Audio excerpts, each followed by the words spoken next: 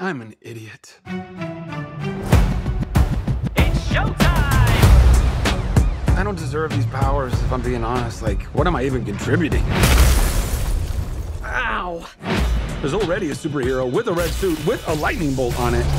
Aquaman is literally huge and he's so manly. And Batman is so cool. And I'm just me. Ah!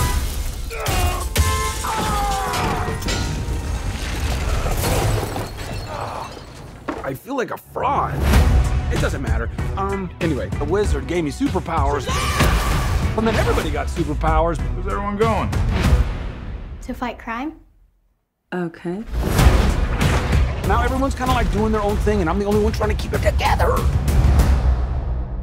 You understand I'm a pediatrician, right? Come on! Now let's get down to business. Listen to me, Billy.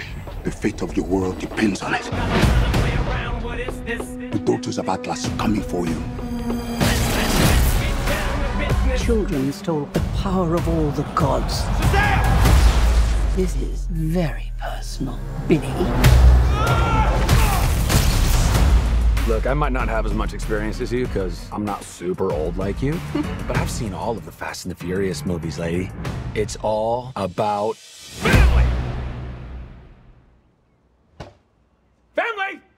that was a signal. Introducing the star of our show. His name is Shazam! Now let's get down to business. Your world will not survive this. I don't know how we fight powers like this. You think I know how to fix this dude, but I really don't. Billy, everyone can be worthy. Let's give it a chance. Now go fight for your family.